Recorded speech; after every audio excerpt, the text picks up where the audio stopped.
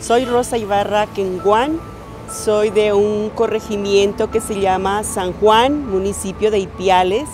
Allí tenemos un medio de comunicación que son los altos parlantes del templo parroquial. Hicieron la convocatoria a todos los padres de familia. Pues no soy madre de familia, pero gracias a la docente dijo que sí podía yo asistir debido a que yo tengo mucho contacto con niños, con jóvenes y con padres de familia. Con el internet me ha ayudado a fortalecer el proyecto, pequeño lo es, se llama Plantas Medicinales a la Mano. En el internet descubrí que no solamente lo utilizan como medicina, sino también pues cosmetología, para aromaterapia. Bueno, son tantas cosas que uno puede encontrar. Nomás usted le coloca el título o el interrogante que uno tiene y tiene las respuestas. Astic ha sido lo mejor que ha podido llegar a los lugares más recónditos de aquí de nuestro país.